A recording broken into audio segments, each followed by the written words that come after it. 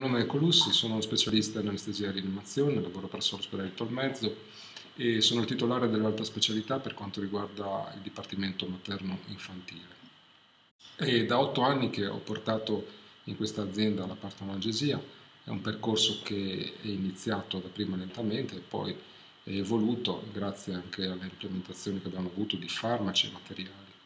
I cambiamenti che abbiamo avuto nella partonegesia in questi anni sono però sempre stati sottesi da una comune filosofia che ci ha guidato in questi cambiamenti, anzi ci ha portato dei miglioramenti.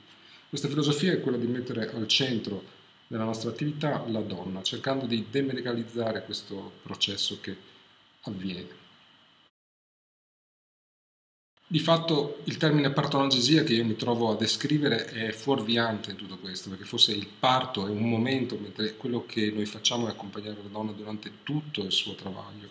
E anche il termine analgesia può essere limitante, nel senso che è sì vero che noi ci dedichiamo all'analgesia, ovvero a togliere il dolore durante il travaglio, però questo non è il fine, ma il mezzo attraverso il quale noi perseguiamo quello che è il nostro scopo, che è quello di rendere più umana, più gradevole, più piacevole di essere vissuta l'esperienza del parto da parte della donna.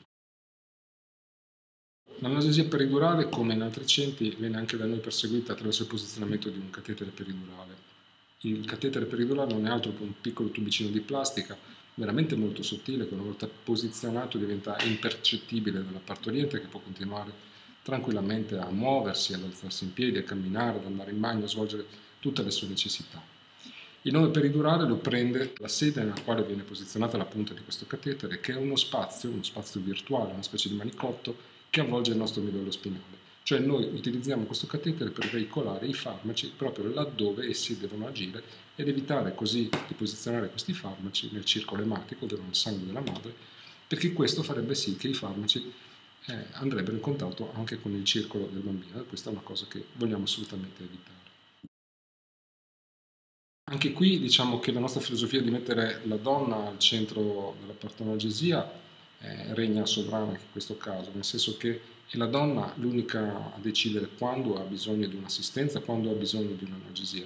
Questo vuol dire che anche nelle fasi prodromiche del travaglio può essere richiesta la partenognesia. Sarà poi compito dello specialista far sì che il suo intervento medico non vada in alcun modo ad interferire con il travaglio.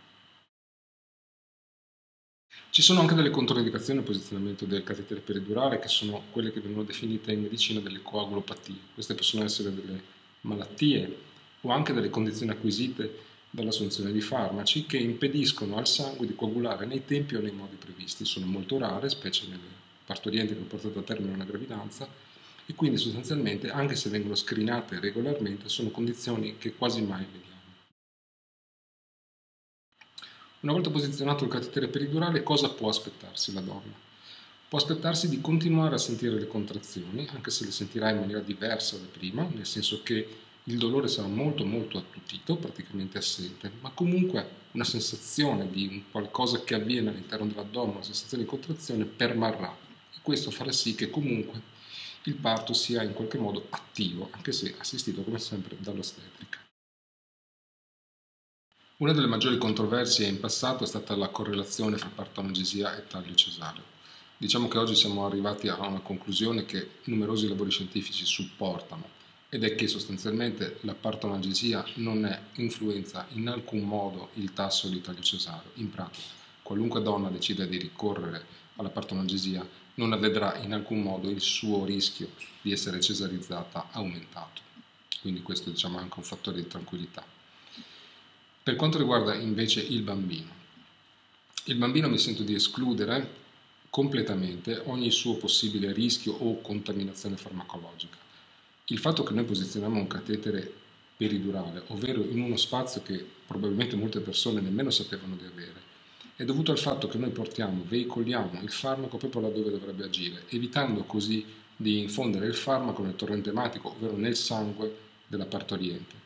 Voi tutti sapete che ciò che è nel sangue della mamma arriva anche al sangue del bambino e noi è proprio quello che non vogliamo durante la partongesia. Quindi portiamo, come detto, questo farmaco lontano dal torrente ematico, lo portiamo là dove deve agire, per cui la partongesia rimane una relazione fra l'anestesista e la mamma. Il bambino non è assolutamente escluso e non avrà alcun effetto collaterale della partongesia. Se qualche persona fosse interessato ad approfondire i temi che ho brevemente esposto in questa piccola discussione, può sempre afferire ai corsi che noi organizziamo mensilmente a, tramite il nostro reparto di ginecologia ostetricia 8 e mezzo, corsi della durata di circa un'ora e mezza, due, nei quali vengono spiegati in maniera molto più approfondita sia gli aspetti tecnici, anatomici, medici e anche le indicazioni, le controindicazioni e le modalità con cui accedere a queste possibilità presso la nostra azienda.